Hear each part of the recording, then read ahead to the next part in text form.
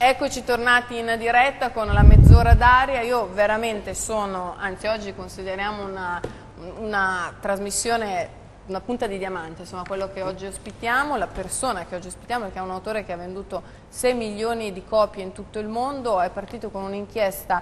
Credo che nessun giornalista abbia mai fatto un'inchiesta di questo genere, sia entrato in quello che è forse una, tra le associazioni più segrete del mondo che governa il, il mondo e che è cambiata molto nel corso insomma, di questi ultimi anni e che arriva ad essere un'associazione che comanda e governa anche il nostro paese perché secondo quello che ci dirà adesso lo stesso autore chi governa veramente l'Italia non è stato né Prima Monti né Renzi ma chi ce lo dirà direttamente lui Daniel Estolin. Intanto grazie Daniel per essere qui con noi con il suo club Bilberger Thank you for the invitation. It's great to be here with you.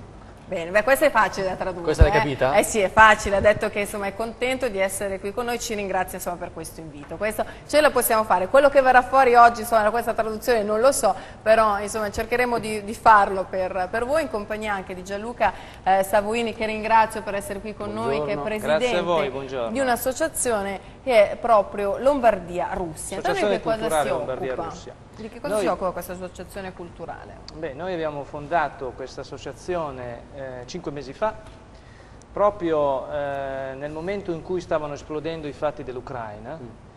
perché abbiamo visto e stiamo notando una certa eh, disinformazione voluta nei confronti di tutto ciò che riguarda la Russia nei fatti di Ucraina, ovvero si sta formando un'opinione pubblica in Occidente che viene addestrata a credere che gli aggrediti siano gli aggressori e gli aggressori diventano aggrediti. La Russia è stata circondata negli ultimi anni a livello di basi militari alleate e la situazione dell'Ucraina è soltanto la punta dell'iceberg di un tentativo di cambiare la geopolitica internazionale, di creare un nuovo ordine mondiale in cui una Russia che di nuovo è tornata a essere fondamentale nell'equilibrio e nella, nelle relazioni diplomatiche mondiali ovviamente dà fastidio a chi vuole mantenere uno status quo post caduta del muro di Berlino, post caduta del comunismo.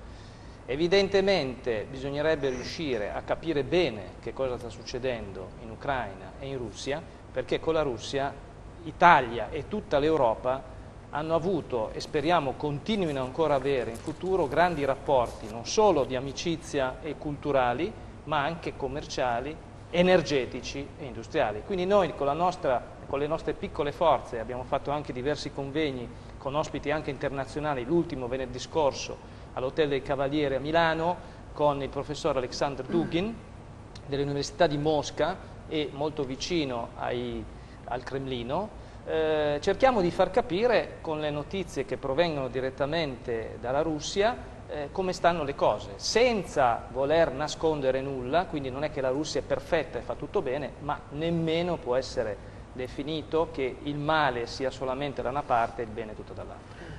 Poi naturalmente, come avete capito, parliamo di questi temi davvero di altissima politica, eh, anche molto difficili, molto, un duro lavoro per riuscire anche ad affrontare queste, queste tematiche. Ma partiamo intanto dall'inizio. Allora, chi è, che cos'è il club uh, Bilderberg? Bilderberg was a very important element of the Cold War structures. Um, and that in and of itself is a very important uh, um, element uh, um, because uh, it was a vehicle through which private financier oligarchical interests could impose their policies on uh, what was nominally sovereign governments. Insomma, ha detto che è un importante club che rappresenta una vera e propria oligarchia finanziaria ed anche economica che governa tutto il nostro mondo. È una cosa spaventosa, Savoini. Spaventosa perché, come diceva Daniel negli incontri che abbiamo avuto in questi ultimi periodi, è molto per nascondere le cose non c'è miglior modo che anche mostrarle perché il builder è vero che è un'organizzazione che, che è occulta, tra virgolette, in cui i giornalisti non possono entrare. Lui invece è riuscito a carpire molti documenti che ha messo nel libro il Club Bilderberg, però queste, questa organizzazione ormai è a un livello talmente forte che alcuni dei suoi documenti si possono trovare anche liberamente, è vero Daniel? It's, um... What's important to understand when you're talking about Bilderberg or Trilateral Commission or Council of Foreign Relations, Pinay Circle, uh, Bohemian Grove, all of these organizations, they're not a tip of any pyramid. They're not the people who run the world. Bilderberg is, is an important private organization. It was very important in the 1950s and the early 1960s. It is less important today, but it's important to understand that these organizations, they work as conveyor belts. The idea is that between them, you create, the idea is not the creation of one world government, new world order, it's the creation of what they call one world company limited, corporations that have a lot more power than any government on the planet, and this is the reason why in most countries, and Italy is a very good example, you have a person completely unelected who has received as many votes as I did or Napoleon Bonaparte did, okay? uh, and this is the individual who runs Italy on behalf of the people who run the world. Allora, guardate, adesso non riusciamo a fare una traduzione simultanea, ma il senso del discorso che ci sta facendo, e io lo ringrazio tantissimo, eh, riparte anche da quello che è accaduto con le elezioni di Monti qua, dove Monti, eh, partiamo da Monti, ma anche adesso con Renzi ci sta dicendo Essoni, noi stiamo, siamo governati da chi non è stato eletto dal, dal popolo, questo accadeva con Napoleone Bonaparte, Savoini. Sì, quello che sta dicendo il dottor Estulin, eh, devo dire che è evidente a tutti, che Renzi non è stato eletto da nessuno, così come Monti, e quindi ci sono altri attori che stanno lavorando per imporre un certo tipo di, di politica anche sul nostro paese, come in tutto Occidente, mi pare. No? And if you actually look at these individuals, the idea is again not the creation of one world government. That's a conspiracy theory. The idea is the creation of one world company limited, where companies, corporations, mega global firms run the world in the name of governments. Io con questa dichiarazione aprirei anche i telefoni perché eh, attraverso le dichiarazioni di Estoni dice noi non stiamo parlando di una corporazione così importante che governa quindi con un'unica oligarchia tutto il mondo, quindi tutti i poteri si concentrano con, in questa eh, corporazione qui che quindi decide per tutta l'umanità. Eh. Pronto, chi abbiamo in, eh, in linea? Buongiorno. Pronto? Proviamo a vedere se ci sono delle domande anche per Estimi che possiamo fare eh, da casa. Pronto? Simona Giuseppe. Giuseppe, buongiorno. Buongiorno. Ah, buongiorno agli, agli ospiti. Mm.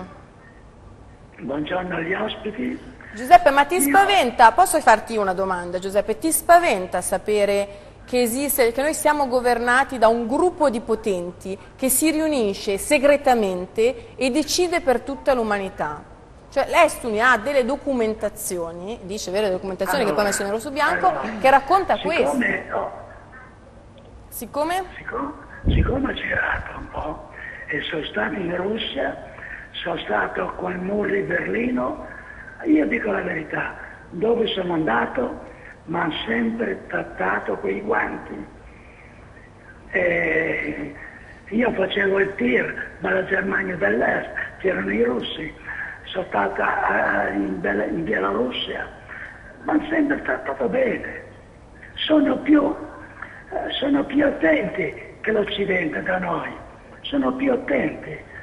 Naturalmente il potere con i soldi si fanno tante cose, allora la Russia è produttore di petrolio, gas, io ti do il gas, però voglio avere i soldi, se non mi paghi una volta, due, tre, poi ti chiedo i soldi. Eh, abbi pazienza, è una cosa normale.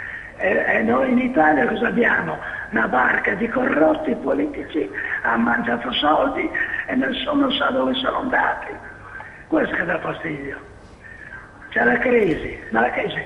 Io vorrei un censimento dei soldi che hanno, che hanno rubato di danno alla, alla popolazione. Guarda, io sono un comunista, te lo dico francamente. Io in Russia ci andrei domani mattina. Non c'è più comunismo. non c'è più comunismo, ricorda Savoini. Non c'è più comunismo. Forse io, ti, saluto, ti saluto Giuseppe, grazie. Questa crisi a chi conviene, Estolin? Crises are great builders of unity in the world. Um, if you look at uh, the world as you know geopolitical game, what is happening today in Venezuela, uh, what is happening, you know, the drug wars in Mexico, what is, uh, you know, Detroit is a great example of what's, you know, deindustrialization of, of the world's economy is a good example. Uh, what we saw in the Soviet Union back in the 1990s, the destruction of the Soviet Union, the destruction of Yugoslavia, the war in, uh, uh, in, uh, in Ukraine, you know, the coup d'etat in, in Thailand, the wars in Africa. The people who run these operations are the same people. We think of policies as national or foreign, but the real policy is called global policy. And that global policy is run by the same people who run the world from behind the scenes. And the idea is deindustrialization of the world, destruction of the world economy and purpose, zero growth. Why? Because progress and development is directly proportional to population density. If you have technology, if you have progress, if you have growth, if you have money, we're going to have more people on the planet Earth. More people means less natural resources. So for the Rockefellers, the Rothschilds, you know, the very wealthy people to eat, you and I have to die. Savuini, qui, anche, anche qui viene fuori un, un concetto molto forte. Spieghiamo bene, esatto. Tutto quello che ruota intorno al, al potere, allo sviluppo, al progresso, alla fine, e ritorniamo proprio a questo, al stesso club, è gestito da queste grandi potenze perché? Perché tutto quello che sono state anche le guerre, ha fatto degli esempi molto precisi, quello in Jugoslavia, l'attuale L'Unione Sovietica, l'Unione Sovietica. l'Africa, l'Ucraina. Allora Una politica globale, Esto ne ha parlato di una politica globale Che che viene di scelta pochi. non direttamente dai parlamenti, quindi è una cosa non democratica, no Daniel? È una cosa non democratica, noi crediamo di vivere in una democrazia in Occidente, in realtà in tutto il mondo dove c'è la democrazia, ma è una democrazia fittizia, perché dominano gli interessi di chi non è stato eletto. Daniel ricorda che queste persone che fanno parte di queste grandi consorterie, e lui ha detto prima che ormai il leader è quasi superato, è vecchio, andava bene negli anni 50, 60, 70, adesso ci sono altre corporation molto più eh, influenti e molto più potenti che non rap- rappresentano interessi enormi che però la popolazione, il popolo, in nome della democrazia, non ha mai eletto da nessuna parte. Ci fai un esempio? For, for Detroit, for, Detroit. The, for the elite, Detroit is a model of the future, your future. The elite want Rome to look like Detroit, Paris to look like Detroit, Moscow to look like Detroit.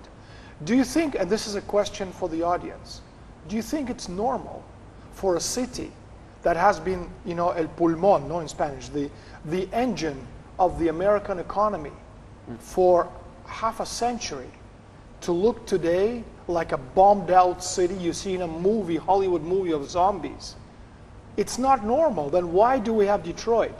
Because Detroit is a perfect example of deindustrialization, of demand destruction, of zero growth.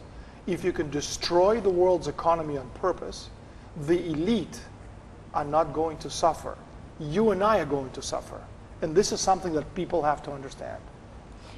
Allora, riapriamo ancora i telefoni, insomma abbiamo questo modello di Detroit dove veramente c'è l'immagine dell'industrializzazione di tutto quello che poi eh, è anche il pensiero americano, può essere il pensiero francese, può essere il pensiero degli altri Detroit, stati. Tra l'altro come- è stata proprio una città americana che, ha- che è, stata- che ha fall- è fallita proprio. Detroit, diceva Daniel, era il polmone Esatto. dell'industrializzazione americana per anni, un simbolo della grande eh, forza degli Stati Uniti d'America sull'industria. famosissima per la produzione di Benissimo. automobili. Adesso c'è stato il progetto di deindustrializzazione di Detroit e Detroit è l'esempio, dice Daniel Estulin, di una città che deve, essere, deve diventare Mosca come Detroit, Roma come Detroit, Parigi come Detroit. Il simbolo è questo. C'è da chiedersi perché si vuole arrivare a una degradazione, a una deindustrializzazione che porta ovviamente a povertà, porta a sradicamento delle identità, porta a conflitti sociali, porta a tutto quello che si può vedere a Detroit, ma purtroppo si incomincia a vedere anche in altri paesi del mondo. Come mai questo? A chi, a chi giova? Perché anche chi detiene il potere vorrebbe avere questo caos? Because again, we're living, the planet Earth is a small planet with limited natural resources. India is running out of water. which means that if there is no water, 1.3 billion people die. And so if you extrapolate the population of the planet Earth, one generation, you're talking from 7 to 10 billion people. There's not enough food and water for everybody.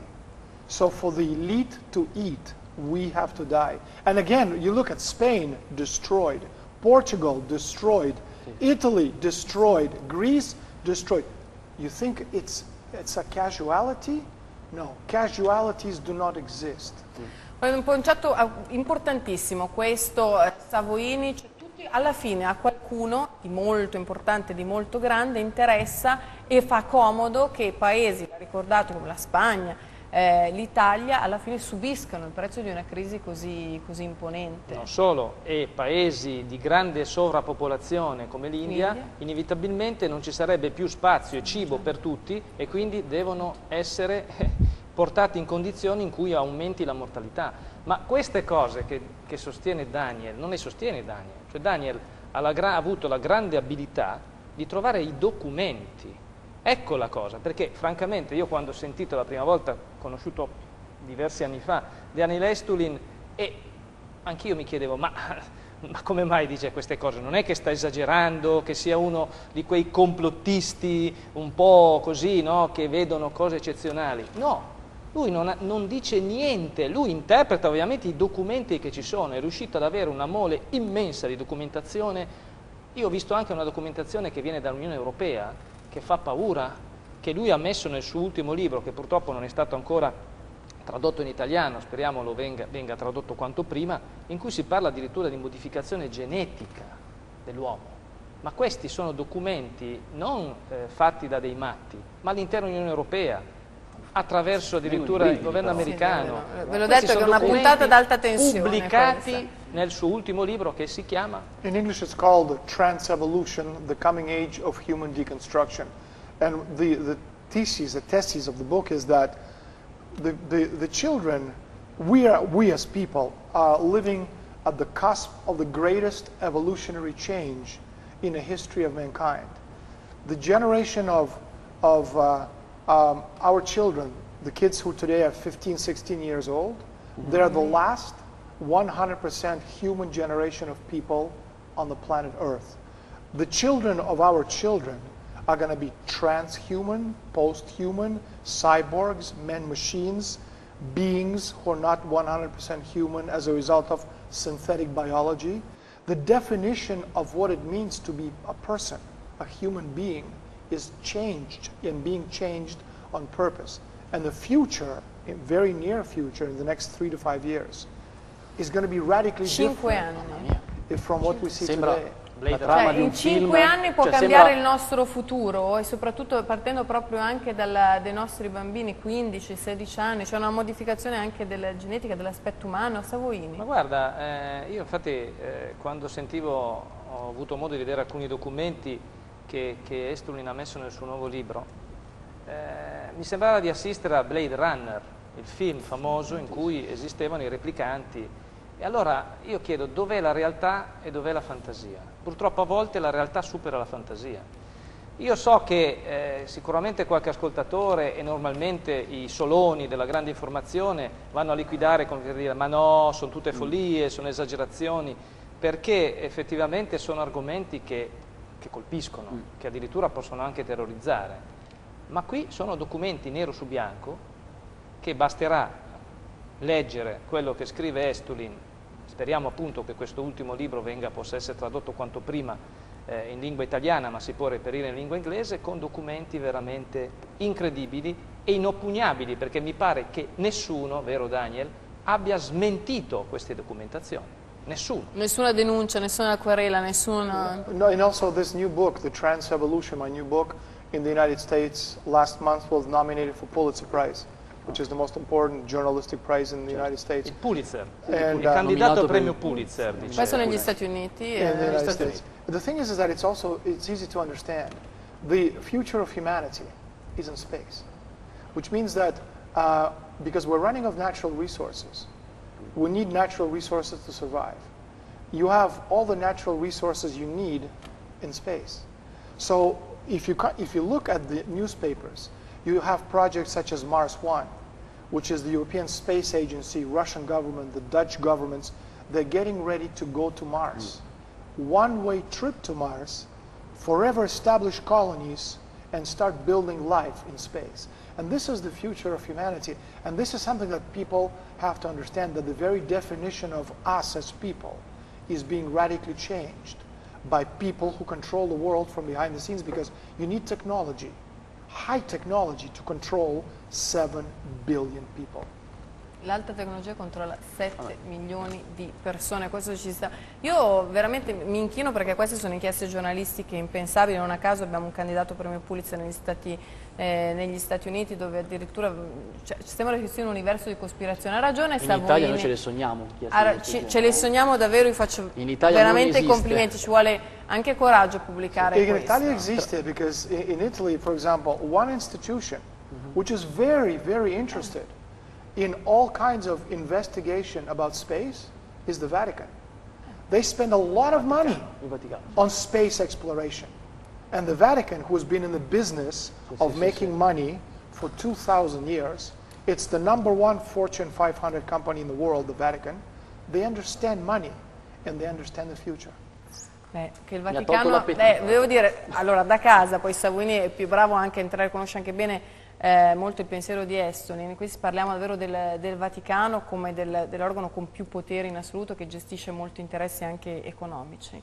Sì, eh, indubbiamente, però quello che diceva Avola era, secondo me, la riconferma, Daniel, che chiedeva qui in Italia simili eh, inchieste, è difficile farle, cioè arrivare al, al lavoro che sei riuscito a fare tu e a reperire documenti come quelli che hai eh, inserito nei tuoi diversi libri, perché non c'è solo il Bildergem, ad esempio c'è anche l'istituto Tavistock che io sto leggendo. Questo è stato tradotto in italiano e lo consiglio, perché parla proprio del controllo mentale delle persone attraverso la comunicazione, attraverso la televisione, quindi è una cosa molto interessante. E lui ne sta parlando, tra l'altro, in una delle trasmissioni settimanali in lingua spagnola che fa a Russia e presso la TV Russia Today in lingua spagnola, quindi tutta l'area ispanica che ogni settimana ha una audience di 6 milioni, 7 milioni di persone ad ogni puntata. Perché eh, Daniel è uno scrittore russo che è dovuto scappare insomma, con la sua famiglia dalla, dalla Russia, così leggevo Dall'Unione Sovietica, diciamo, non dalla Russia, ovviamente. Adesso con la Russia mi pare che Daniel abbia ottimi rapporti eh, e quindi eh, nella vecchia Unione Sovietica, però parliamo appunto di, di 25 anni fa, Eh, del- perché c'era, il anche di- comunismo, di era una cosa diversa.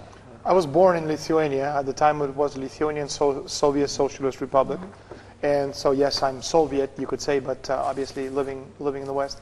But uh, um, I think um, in the world in general, people understand that you know the, the mainstream press never tells us the truth. There are always you know interests about how you know you present the information.